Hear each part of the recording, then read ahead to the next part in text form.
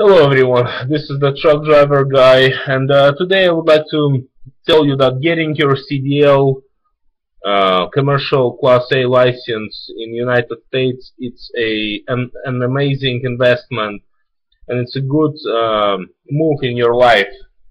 You know even if you're not gonna drive a truck you know all the time still it's good to have a commercial uh, license um, because um, the reason why uh, even if you're not driving your experience is going.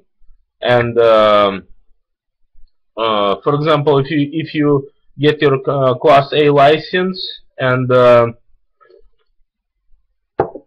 and let's say you don't work for four years but you maintain your uh, commercial li commercial license you know companies will hire you a lot easier than if you would just get your license uh, and uh, try to find a job because of the insurance pur purposes. And again, you know, you can you can always you know quit trucking, start all over again. You know, it's something good to have under your belt. And my advice for all of you guys, if you don't have a commercial license right now, get it just in case of emergency. You never know how your life gonna turn you know in what way your life gonna turn. So um, get your license and uh, you know subscribe to my channel. Uh, if you have any questions watch my videos.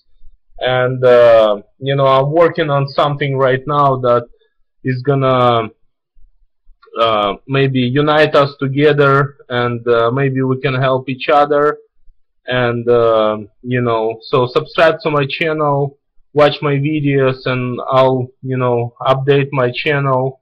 And uh, so you guys can uh, basically see what I'm doing. Alright guys you all have a wonderful uh, day. Drive safe and uh, God bless you all on the road. Bye bye